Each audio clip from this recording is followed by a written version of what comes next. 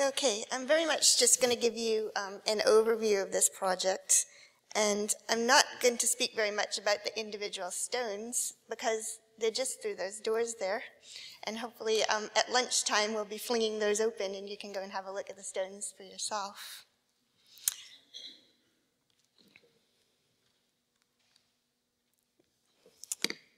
Okay, how it all began. Um, it began in 2008 when I received an email from Mark Strachan from the North Ayrshire Museum Service. He was researching the Ardrossan coffin lid for redisplay. The stone had been discovered in 1910, and a Dr. Ross of the Royal Commission was amongst the experts called out to have a look at it. Dr. Ross is quoted in the Ardrossan and Saltcoats Herald in 1911 saying, The carved lid, so far as I know, is one of the finest of its kind in Scotland and is a specimen of medieval art at its purest, and the only one in Scotland, so far as I remember, that approaches it in beauty and design and execution is now in Dudhope Castle Museum, Dundee. Well, that didn't ring any bells with me. I had a look through all the databases. I couldn't find anything that matched the description. And I told Mark, surely I'd know if we had anything in our collections that was as important as all that. Uh, famous last words. Hey. It was too late for the redevelopment. Um, we'd chosen all our objects for the redevelopment of the museum. Um, but lo and behold, going through one of our out stores, and under the very brief description of carved stones, we found tightly packed onto the shelves um, the stones that he was speaking about. Um, we couldn't really even take proper photographs of them. They were so um, closely packed. That's an example of one on a, a pallet there. The only one that had been recorded um, is the one that we're now calling the ship stone. The Royal Commission does have a record of that one. The, the only records we really had of them were a set of 19th century drawings um, that's now in, in um, the Society of Antiquaries has um, in their collections. So the original plan was just going to be to photograph the stones and to give them complete records.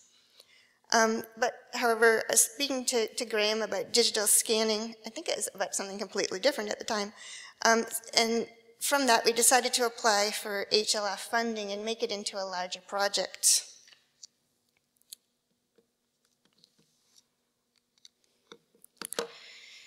So the needs identified were to get the stones known, to get some research done on them, to create medieval learning material um, for the schools, because that's something that um, had been requested, to raise the profile of medieval Dundee in general, and then also to raise the profile of, of the steeple.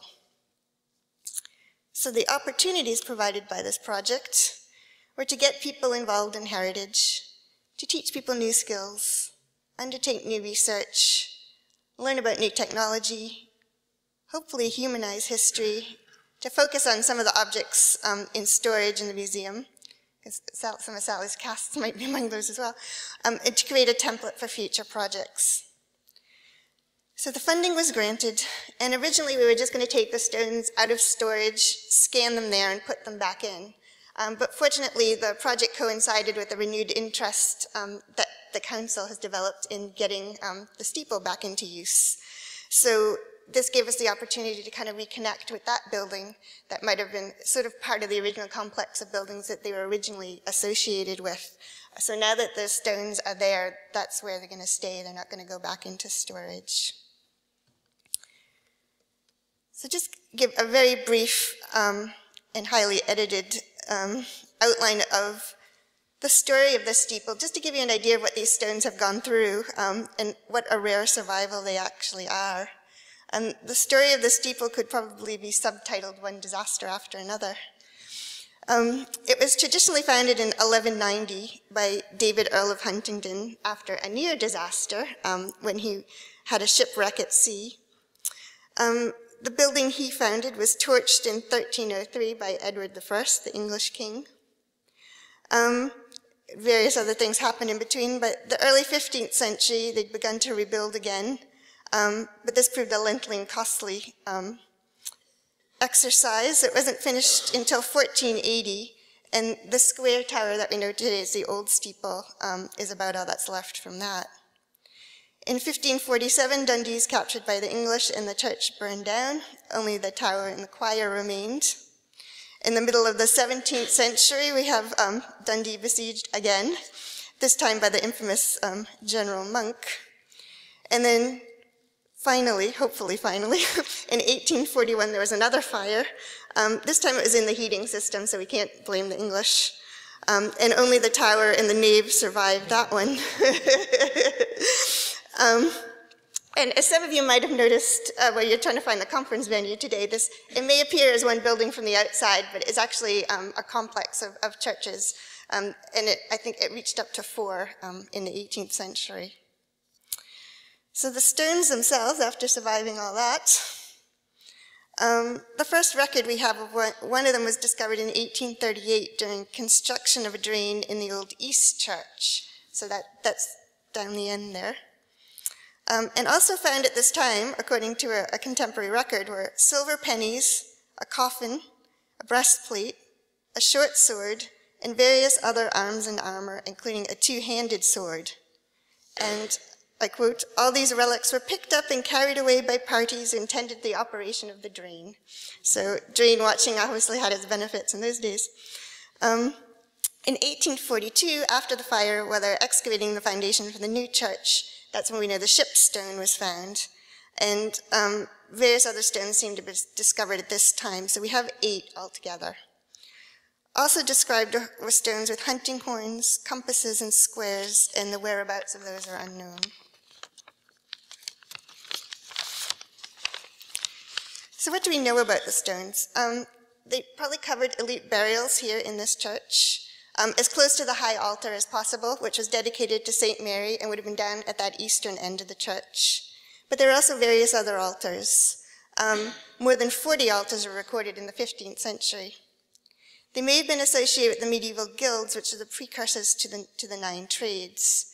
We know the trades had altars to their patron saints and held meetings at the graves of their members. This would later transfer over into what would become the Howff, which, as we know, is Scots for meeting place. But it starts to get crowded in here. Um, the prices for the layers go up, um, though you could get a space if you'd fallen in one of those many sieges, apparently. Um, and actually, um, they're still, in 2011, when they're putting in this nice new floor right here, um, to make this into a lovely co conference venue, uh, a few more of these people made themselves known, and they're still under here, laid out in nice rows. So we know they must have had markers at some point. So if you think of the eastern end, we don't know the exact size of the footprint, but you consider the length of the church, um, how many stones there must have been originally. Um, so the wealthy paid for these layers as well as for the masses to be said for their souls and candles to be lit to ease their time in purgatory. Um, so going back to the project. And also, um, there were burials outside the church as well. During the um, expansion of the Overgate, SUAT um, excavated burials of probably, um, probably the artisan class, not the elite. Um, and you can read all about that in the Taffach Journal, Volume 6, which is on sale through there. Okay, so the stones were moved um, with a crane into storage, into the room out there. Um, and already, just as we were moving them, we were attracting a lot of attention and visitors, and people who had never been into the museum um, were quite interested and quite curious about the stones and, and sort of came up with their own theories of what they might be. Um, so it was really interesting to engage even at that earliest stage with people. Um, so since the move, we have held a series of events. Um, on Doors Open Day last year, we had more than 400 people come to see the stones. Um, to, and to observe the scanning process by, by AOC. Um, we've also had a series of workshops and training sessions, which Graeme will tell you a bit more about. And we're also having another open day tomorrow, um, and we'll have a stone carver out. Um, so that's another sort of step, um, learning about the process of how the, the, stones are actually made. And the public are also um, able to choose, this is um, giving the public a choice in their own history, um, to choose their favorite stone to go on display in the McManus galleries. And they voted for this one, which has um, sort of little ladies' heads on it. And that one is currently now on display in McManus. There's also um, a gallery tour of highlighting four medieval objects in the McManus, which is, will be downloadable from the museum's website and also the project website. Um, there's a booklet downloadable from the website and a schools resource, which will be joining them shortly as well. So the website was created in the hopes that um, we could get people to contribute research to it. We really wanted it to be um, as public a project as possible. And the website, it's been a little slow, but bits we've received have been of quite good quality. Um, and the, the website will remain active for at least another five years. So we're still always looking for people to contribute it to it. So I think this is probably a perfect audience here.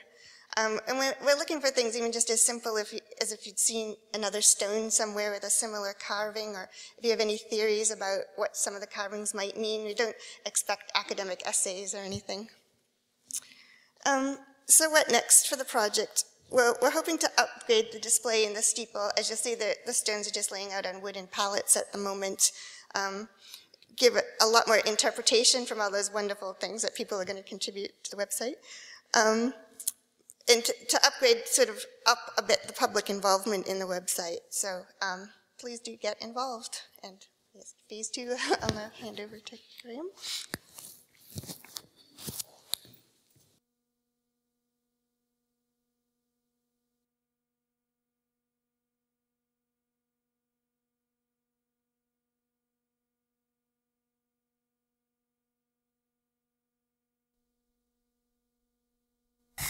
I might have to skip through a few slides here to get back to where we were.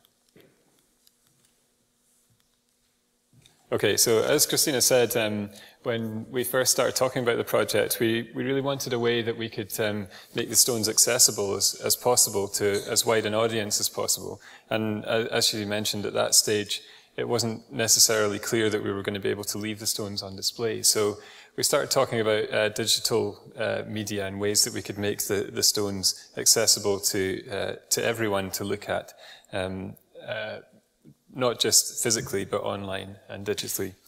Um, so there's a, a, sort of, as obviously the accessibility was one of the main aims, but also uh, there was a, an element of, of wanting to create a detailed and accurate record that could be the basis for, for future studies of the stones and stones like them as well. So. So we talked about laser scanning and, and, and getting this information online. So those of you who may have seen laser scanning before, it's an increasingly uh, widely used technology. Uh, this, the type of system that we were using here is slightly different to the, to the one that you would see uh, in some of the examples that Matt's uh, uh, Forestry Commission surveys show you here. Um, so we're looking at very, very high accuracy, high density scanning uh, at sub-millimeter level to produce these kind of these geometric um, geometric meshes uh, that you see on the on the right here.